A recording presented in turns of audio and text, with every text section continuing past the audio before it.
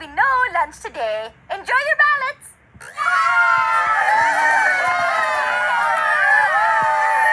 Why is everybody cheering?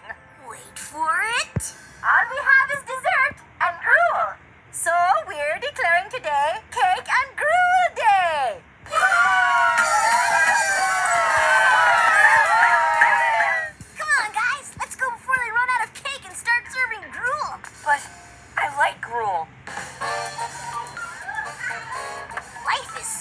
and so is lunch.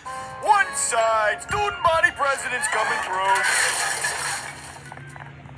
Forget it. We were here first. Co-President Chad, do you hear some non-student body president talking? No, I don't, Co-President Tad. But I do know this: student body presidents get first in line privileges. Oh, yeah? What about me?